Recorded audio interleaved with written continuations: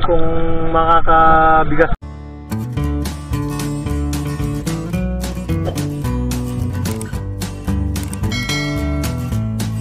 Hello guys, magandang araw, panibagong adventure, panibagong vlog, panibagong pagpipishing na naman tayo mga lodi. For today's video, tayo ay manguhuli na mga isdang bisugo or tawag dito sa amin, isdang saray, ayun mga lodi. So guys, samahan nyo ulit kami sa aming pagpipishing.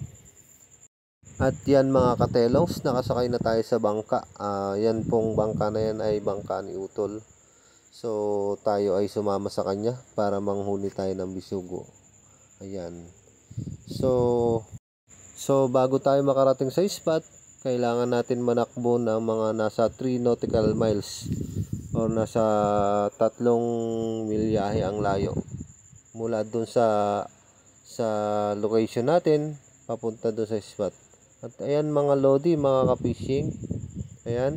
So tumatakbo na yung bangka at so sa pagtakbo ng bangka para hindi naman masayang, so gumamit kami ng ah panghilada guys. Ayan, para makahuli tayo ng isdang tulingan or ano man pong pwedeng sumibad sa ating hilada. At ayan mga lodi, mga ka-fishing. So nakahuli na tayo ng isa. So sa pag sa gamit nating panghilada. Ayan. At ayan mga ka-fishing, so tuloy lang tayo sa gagawin nating pag paghihilada. Ayan. So papaandar na naman yung bangka para sa ginagamit nating panghilada para makahuli tayo ng iba't ibang uri ng isda o pwedeng kumibit sa gamit nating hilada. Pero kalimitan dyan mga idol, mga ka-fishing ay ang sumisibad talaga ay yung isdang tulingan. So ayan mga lodi, mga ka-fishing. So meron naman tayong nahuli. At ang nahuli natin dyan ay isdang tulingan na naman mga idol. So tawag dito sa amin ay ah, tulingan tabi. So may tawag na iba dyan eh, yung balintong daw, balintong. ah yung isda na yan ay masarap yan sa gata ginataan mga idol mga kapising so ang may hawak nga pala ng panghilada dyan ay yung kuya ko na panganay. So panganay sa panganay sa amin magkakapatid si Kuya Joel. So yan. So yan nakahuli naman tayo ng isa. At yan tuloy tuloy na naman tayo sa panguhuli ng isda ah, sa paghihilada. Kung saan ay sana makahuli pa. At ayun mga ka-fishing, ah, nakarating na tayo sa spot kung saan ay nakapag-arya na rin kami. At ayan, unang sibad mga idol, mga ka-fishing. So, may sumibad na sa atin. So, alamin natin kung anong isda.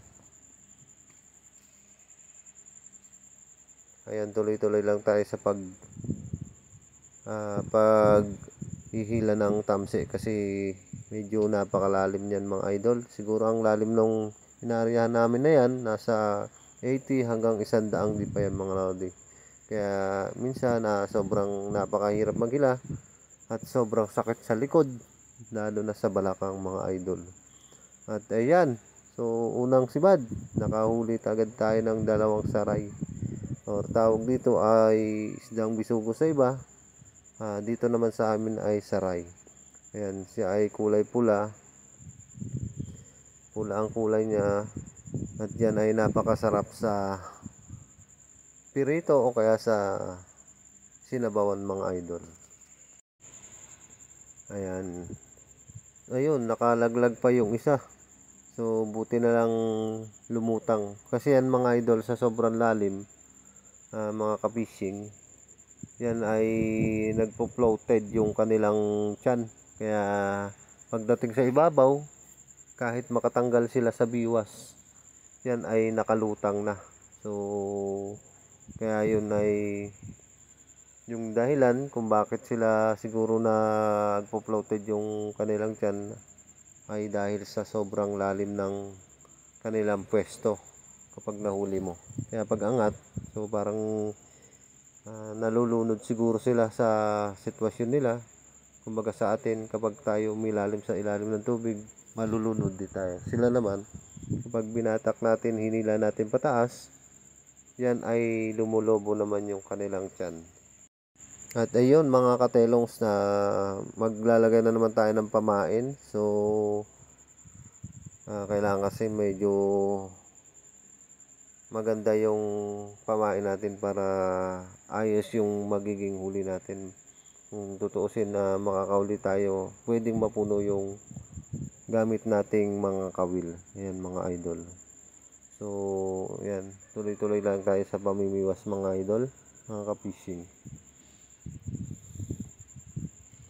Ayan si Kuya Junjun ay nakahuli na rin na yun. Winigilan na rin niya yung kanyang huli. So, medyo nakayuko lang yung video. Kaya hindi ka hindi ganong halata yung kanyang nahuhuli mga katelongs. Ayan. So, ayan mga idol. So,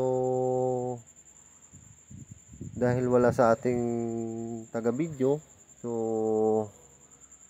tayo na lang yung nagsiset up, nagpe-play ng video para kapag ka may huli tayo, ah, makikita naman natin kung ano yung ating mga nahuli. Ayan, may sibad na nga pala tayo dyan mga idol. So, hinila uli. So, napakatagal niyan mga idol hinila. Pero dahil sa sobrang tagal ay kinakat ko na lang yung video. Ayun! Ah, yan mga idol, ah, may sumibad sa atin. Ang pangalan ng isda na yan dito sa amin ay isdang pahak. Ayan, pahak ang tawag dyan. So, yan naman ay malalim din ang pwesto mga idol para rin siyang sibad ng mga bisugo or tawag sa amin ay saray. Pero yan mga mga katelong kapag yan ay nakabitaw, hindi katulad ng ah, isdang bisugo, yan ay nagpo-floated, ayan yan naman ay hindi. So yan mga katelong, sibad na naman mga idol. So yan. So yan, na sa spot na to ay medyo marami, marami ang sibad. So kaso nga lang minsan humihinto talaga. Ah, at minsan nawawala kami sa location kung saan marami ang sibad kasi kami ay hindi nakapundo or tawag tawag sa dito sa amin ay hindi nakaangkla. Ayun, nakauli na naman tayo mga idol. Ayan. Ayan ay isdang saray or tawag sa iba ay bisugo. Yan, kaso isang peraso lang mga katelongs yung ating nahuli. So, pero okay na yan. Biyaya na rin yan eh. Kaya pagtyagaan. So, yung sibad nga pala dyan mga katelongs ay hindi ganong kalakas, kadami. Paiba-iba. May isang lugar na sunod-sunod ang sibad. Tapos, pag naanod kami, mawawala. Yun, sibad na naman. Kaya tiyagaan talaga. Ayan. Tapos sobrang lalim pa ng area mo. Kaya napakahirap sa sitwasyon nam, naming mga mangisda na kapag ka nasa laot ka ay talagang sakripisyo para mabuhay. Ayan, para makalibre ng ulam mga katelongs. Kaya hindi po ba ah, kaya hindi biro ang mangisda. So kaya nagbabaka sakali tayo mga idol na sa pagbablog natin tayo ay kumita rin at makadagdag ng income para sa pang-araw-araw nating buhay. Kaya sa mga ah taga-suporta natin ay sana patuloy nyo pong suportahan tong ah, aking ginagawang vlog. Sana wag niyo po akong iiwan. Ah, patuloy niyo pong panoorin yung aking mga video. Ayan mga katelongs, ah, salamat sa sa mga sumusuporta at patuloy na susuporta. Ayan, sa mga hindi pa rin po nakapag subscribe, follow, ah, ayan, mag-subscribe na po kayo at i-follow nyo na rin po yung aking Facebook. Ayan, so Arnel Arcades and Telongs Vlog TV.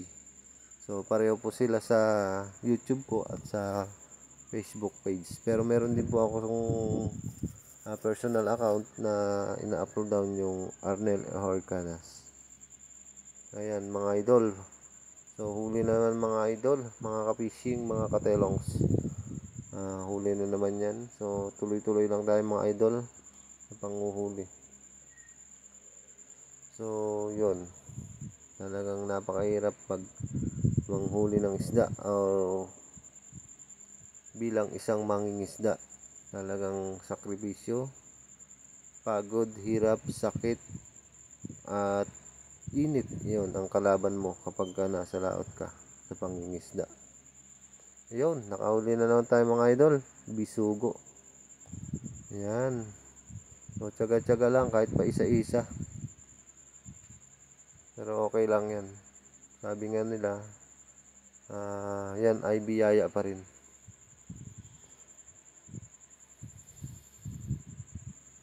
Ayan. So yung video hindi natin ganong nakikita yung nasa likuran natin. Kasi nga ay nak, ah, wala naman sa ating taga video so naka steady lang siya sa sa ibabaw ng palo. So yan nga po palang video na yun ay isinet up ko lang, itinali ko ng goma para kahit paano tayo ay makakuha ng video para sa ating mga viewers. Ayan, nakasibad na naman tayo mga ka-fishing. Ano na kaya yan? Oh, parang ano ah. Parang hindi ata bisugo ito ah. Oy, dalawa. O yan mga idol, oh, naka, nakatanggal yung isa dyan. Pero yun, naka, lumutang pa siya. Lumutang naman. Kasi nga floated na yung kanyang chan. Ayan mga idol, hindi ko alam yung tawag sa isda na yan.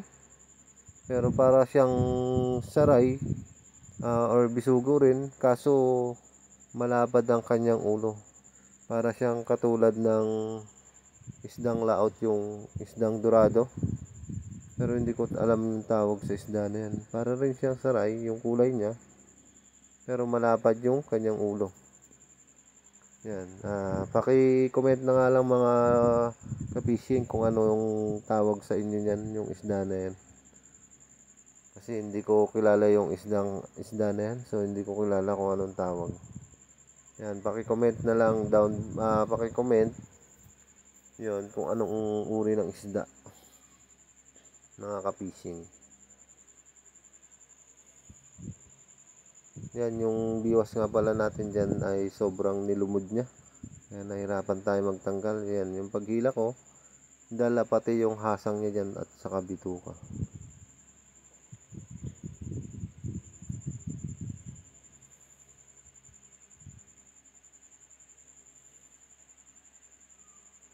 So, ayan, natanggal na natin mga ka-fishing. So, yan, panibagong pain. Pain na naman tayo. Kailangan kasi ay iayos mo rin yung pain mo. Kailangan yung pain na talagang medyo gaganahan silang kumain. Kasi kapag ka alam mo yung pain na yung pagtsatsagaan mo na napakaunti at talagang kapiranggot na. Hindi po yun basta-basta kakainin ng mga isda. Kapag ka ganun lang ang pain mo kailangan talaga yung medyo matatakpan yung kawil mo para solve at kainin talaga ng isda mga katelongs, mga kapishing ayan, nariyan na naman tayo mga kapishing ayun, nakahuli yung utol ko dalawa. Yun, dalawang saray yun, mga kapishing. So, yan mga kapishing. So, dito ko na tinatapos tong video at kami ay pauwi na rin yan. So, antabay na lang kayo kung ano yung mga isdang nahuli natin, na, namin. Yan mga kapishing. So, abangan na lang natin mamaya pag uwi namin. Pag nandun na kami sa tabi. Yan, bye-bye. Yo, what's up mga kapatid? Bali, ito. Ah, nakauwi na kami. Inabot kami ng malakas na ano. Hindi na, hindi na ako nakapag-video. So, ito yung aming mga nahuli mga idol. Ayan. Ayan yung aming mga nahuli. Ayan pa. So, hindi ko alam kung makakabigas-bigas ito. Ayan. Oh. So, pinaghirapan namin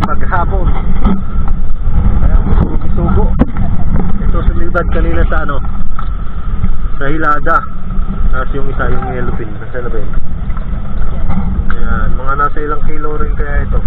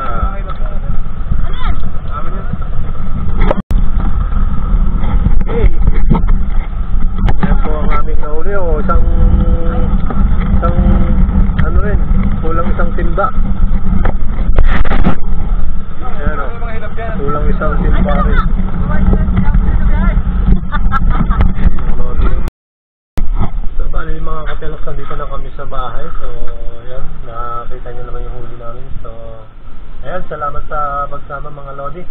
So sa muli ng ating mga video, ayan. And then, ayan, ah, please follow, like, and share na lang mga idol yung ating channel. So, sa mga hindi pa nakapag-follow, ayan, follow nyo na guys. Ayan, so hanggang sa muli ng ating mga vlog, mga idol. Ayan, bye-bye!